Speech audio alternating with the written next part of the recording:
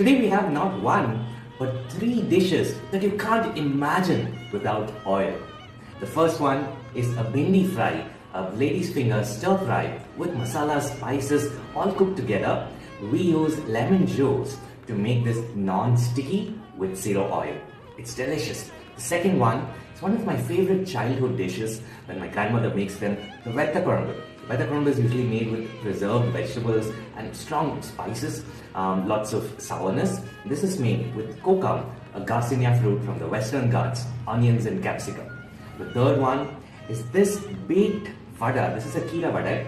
It's baked zero oil, not fried, but yet it's delicious. It's crispy outside, it's soft inside with a burst of flavor. I'm looking forward to enjoy this with plant-based uh, raita, some fruits, pickle, laddu, and my barnyard millet rice too. Be blessed.